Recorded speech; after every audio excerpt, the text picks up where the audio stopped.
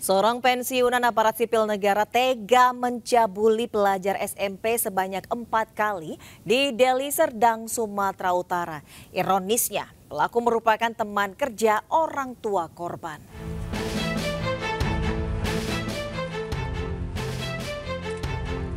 Polisi menggelandang JP, 59 tahun, karena tega melakukan aksi pencabulan terhadap RL, 17 tahun, di Deli Serdang, Sumatera Utara.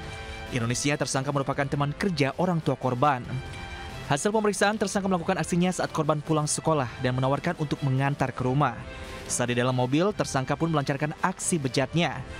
Tadi duga tersangka sudah melakukan aksinya sebanyak empat kali dan dilakukan di dalam mobil. Usai mengumpulkan bukti-bukti dan dikuatkan dengan hasil visum, polisi menangkap tersangka di rumahnya tanpa ada perlawanan. Guna penyelidikan, tersangka kini masih dalam pemeriksaan di Satreskrim Unit PPA Polresta Deli Serdang. Dari Deli Serdang, Sumatera Utara, Amiruddin Ainus melaporkan.